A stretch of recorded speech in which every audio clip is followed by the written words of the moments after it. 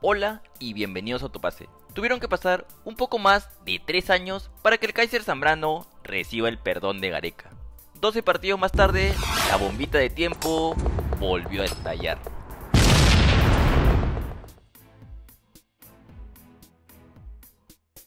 Veamos rápidamente el origen de las diferencias entre el Tigre y el León. Tras acumular su segunda tarjeta amarilla a los 46 minutos, quedó suspendido en el empate 2 a 2 frente a Venezuela en Lima. Aquel mágico partido en donde Ruidios nos salvó de la derrota. Se especuló que León no habría comunicado que dejaría la concentración y se marchó a su club sin despedirse. Gareca aprovechó la Copa América Centenario para realizar el famoso recambio.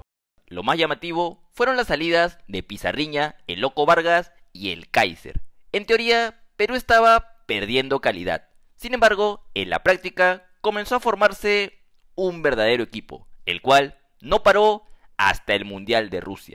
Para ser justos, el zaguero hizo denodados esfuerzos para recibir el perdón del Tigre. Post Mundial visitó la concentración blanquirroja en la previa al encuentro amistoso frente a Alemania. Al poco tiempo, el entrenador nacional, como es su costumbre, manifestó que lo tenía en su consideración. Sin embargo, le preocupaba la poca continuidad. Recordemos que en ese entonces el zaguero jugaba en el Basilea de Suiza, en donde prácticamente casi nunca se quitaba el chaleco de suplente.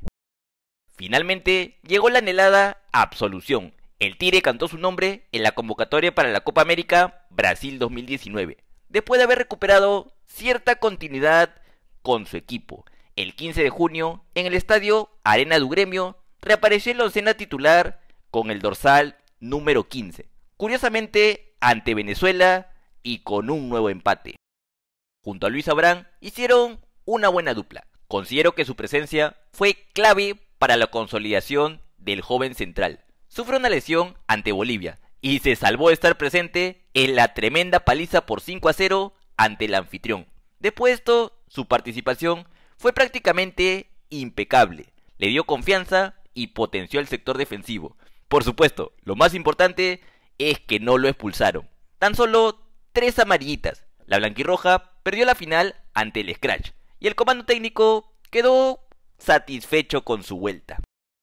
Todo parecía indicar que por fin habían logrado domar al león, o por lo menos le pusieron bozal. Su juego seguía siendo agresivo, pero sin pasarse la raya. Además, era evidente que le daba un tremendo salto de calidad al equipo. Como suele suceder, el efecto selección y una ayudadita del Tigre lo catapultaron hasta el cuadro Ceneice. Finalmente llegaron las clasificatorias para Qatar 2022. Si bien Guerrero estaba fuera por lesión, por lo menos el sector defensivo estaba a salvo.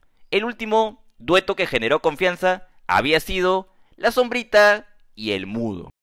El entrenador decidió confiar ciegamente en él.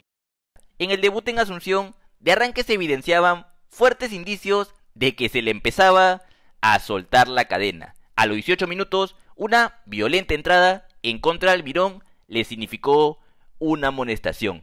Afortunadamente, ese fue el criterio del árbitro, porque si hubiera sido uno más pegado a la regla, tranquilamente pudo ver la roja. Ante Brasil era su prueba de fuego. Esa noche el equipo de todos ofensivamente hizo un encuentro casi perfecto. Sin embargo, defensivamente estuvo espantoso. Empatábamos 2 a 2. En ese momento, Zambrano forcejea con Neymar en el área y levanta los bracitos para proteger la pelota. El árbitro Bacuñán interpreta que es penal del peruano. La polémica nació a raíz de que ni siquiera se dignó a revisar el bar. 3 a 2 para Brasil. El León estaba prácticamente desatado cuando el partido expiraba con la derrota blanquirroja. El Kaiser volvió a levantar los brazos y entra con vehemencia en contra de Richarlison, el cual cae al piso y después de dar mil vueltas, Neymar se va encima del peruano y solo repetía ¿Qué hace? Está loco. Esta vez, Bacuñán sí se dignó a revisar el bar y cambió la amarilla por una expulsión directa. Aquí el error fue del peruano, el cual se quedó recontra picón por el penal cobrado anteriormente. Lo cuestionable es que el encuentro estaba recontra definido y el zaguero no pensó más allá. Quedó fuera de los duelos ante Chile, Argentina y Colombia. Para la fecha doble, ante Colombia y Uruguay, Gareca utilizó la excusa de que el zaguero de Boca solo podría jugar en Quito, así que decidió dejarlo fuera de la citación.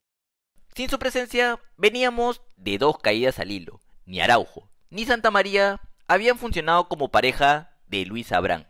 El Tigre apostó por lo conocido y dentro de todo, confiable. La sombrita Ramos volvió a ser convocado, el cual, pese a todas sus limitaciones, consideró que no decepcionó. Se complementa relativamente bien con Abraham e incluso se anima a cabecear en área contraria. Para la Copa América, Gareca dio una lista de 26 nombres, la cual reglamentariamente pudo ser de 28. Aquí volvió a dejar fuera al León. Todo parece indicar que si la dupla Ramos-Abraham tiene un torneo normal, deberían continuar en las clasificatorias. Cabe destacar que con respecto a los centrales, el entrenador no dejó fuera a ninguno de los habituales. Araujo, Santa María, Callens e incluso Garcés estarán en el torneo de selecciones más antiguo del mundo.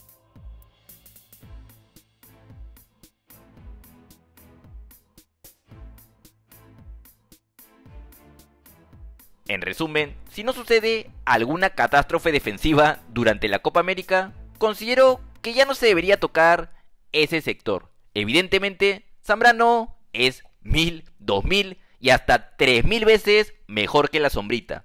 Pero es un peligro constante. ¿De qué nos sirve que pueda dar ciertas garantías defensivas? Si tarde o temprano nos puede dejar con 10.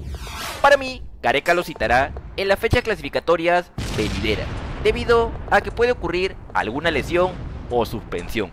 Además, me parece que el Tigre no le tiene mucha fe ni a Santa María ni a Araujo. Así que el Kaiser tendría que estar a la expectativa ante cualquier baja. Esperemos que esta vez sí haya aprendido la lección y no siga viendo la vida de color rojo. Y para ti, ¿el Kaiser Zambrano volverá a la selección peruana? Este video ya con 9 saludos tenemos a Luis Méndez, Cristian Cueva, Buenas, Firefrost, RD, Sebastián Ampuero, Víctor Paucar, Carlos Seguín, Andrés Villegas y Roberto Rubiños. Muchas gracias a todos por estar siempre pendientes al contenido del canal. Si deseas un saludo en el próximo video, solo empieza escribiendo hashtag saludos autopase y lo más probable es que aparezcas en el próximo episodio. Si te gustó el video, regálame un like, no olvides suscribirte seguirme en mi cuenta de Instagram, Autopase20, unirte al grupo de Discord y animarte a ver más contenido. Bueno, eso sería todo. Nos vemos pronto.